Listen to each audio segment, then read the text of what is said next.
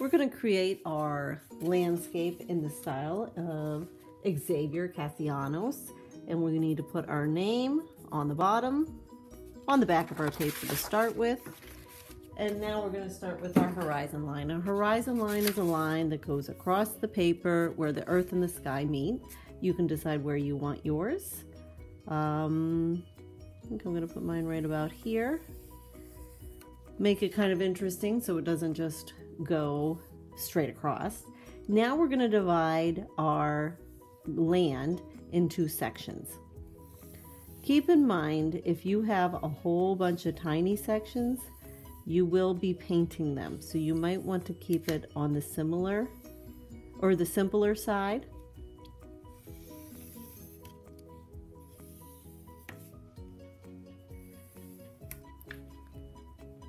Now I've given you a paint palette with magenta, red, yellow, white, turquoise, and blue.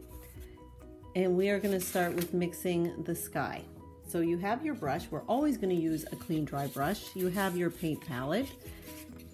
Think about what color you want the sky. Do you want it blue? Do you want it sunsetty? It's up to you.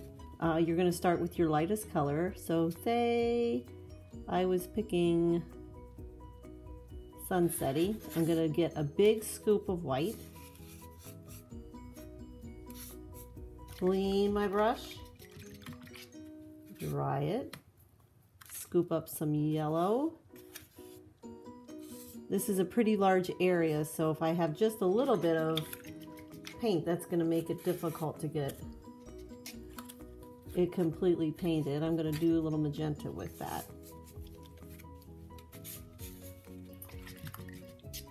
When I'm ready to mix, I think I'm going to mix everything into this white or this yellow.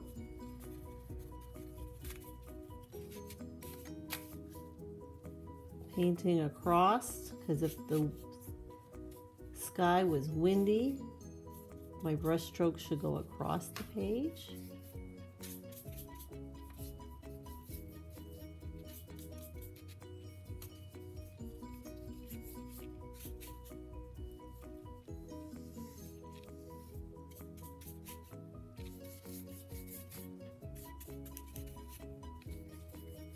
You want to make sure you're not getting your paint all over your whole plate because you need more room for mixing your colors. Now that I have my yellowy white, I'm going to pick up just a little bit of pink. I could mix my pink on my palette like this, or I could mix it right in on my wet yellow paint. I'm just going to blend those colors up into that yellow sky. If it's getting dry, go ahead and add some more white to it or yellow, and that will help it mix. Now I can clean, dry, and I'll go to this section. I only want you mixing two colors at a time. So say I had blue, and I wanted to mix it with magenta.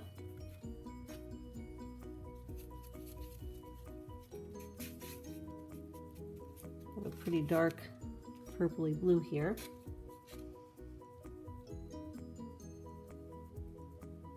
If you mix it with more than two colors, you're going to get some mud going on. And we don't want these to be muddy because he used very bright, bold colors. You can, however, use white. So let's say I pick up some pink, more magenta, clean. Let's see what happens when I grab a little bit of white with that.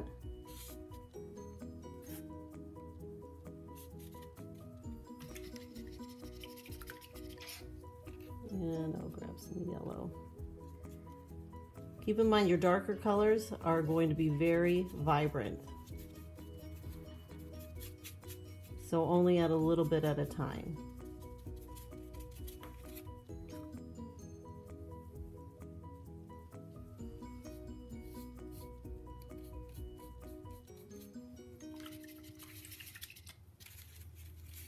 Now grab some red.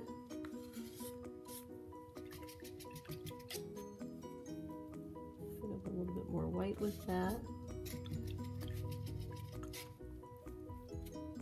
See what the turquoise will do. So I have my turquoise, my white. Let's grab a little bit of that red.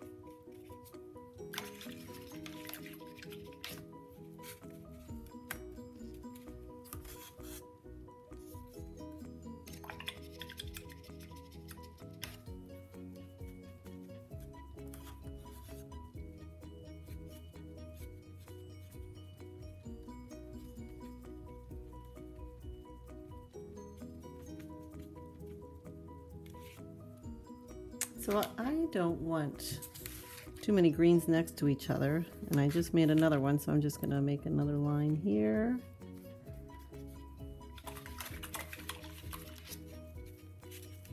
And then some of mine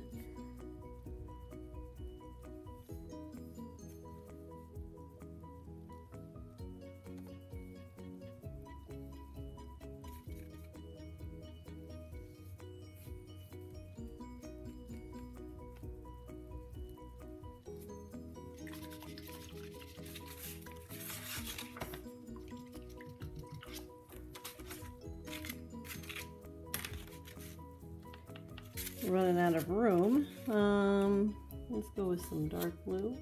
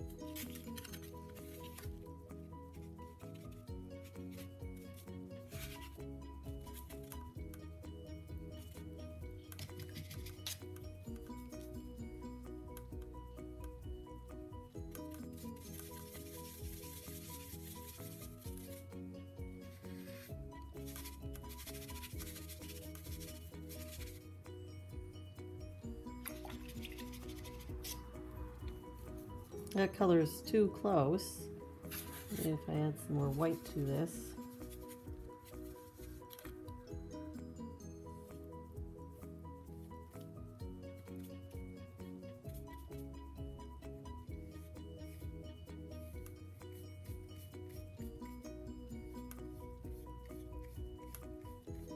All right. All right, now we're ready to add our details. We're going to be doing patterns in each of our little areas. You might need to pick a smaller brush, but think of a contrasting color. So if I was doing orange, maybe I'd pick up some blue. And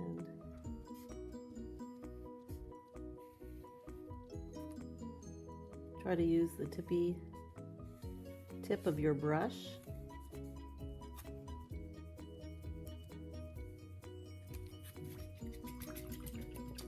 Forget to clean and dry in between each one. You were doing polka dots. You could use the back of your brush. If you still want to mix colors, you can.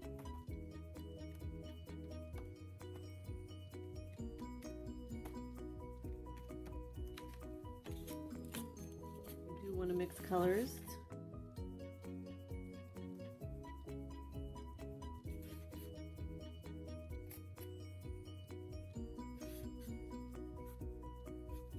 You can mix three, but they all have to be analogous. That means they're together next to each other on the color wheel. Otherwise, you'll get the mud.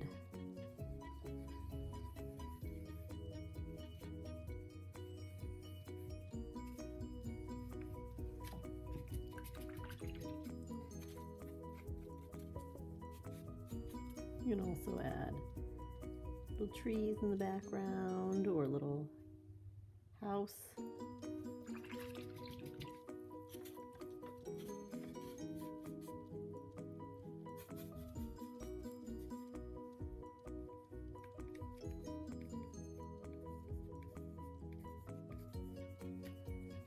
When you're all done, you can decide if you want to outline with a contrasting color.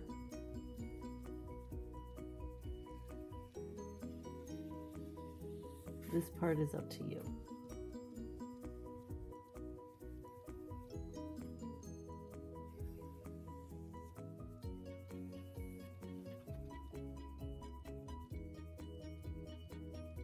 And there you have your completed landscape.